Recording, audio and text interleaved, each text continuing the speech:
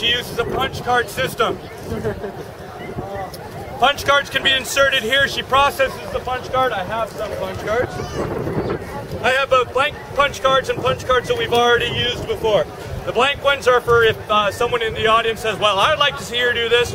Well, I can punch out a card best I can and hope for the best. And everyone steps back a little bit and hopefully nobody gets trampled to death. She's 800 pounds of clockwork, so you don't want her chomping on you.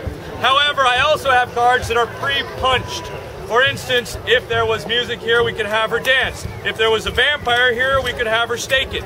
I do, however, have a singing card if anyone would like to hear her sing. Yes. I do, I do, I do. Excellent. So this is how this works. First of all, we turn off the device.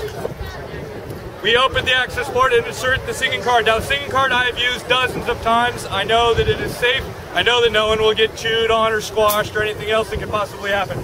So we insert the card like this and then reactivate her. Takes her a minute two to process the card, and then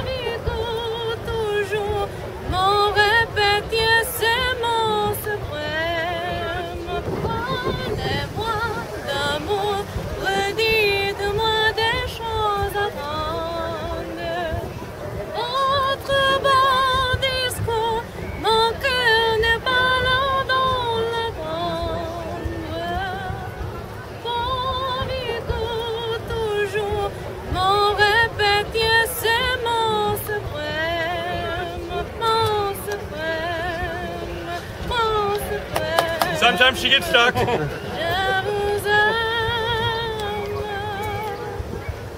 there you have it, ladies and gentlemen.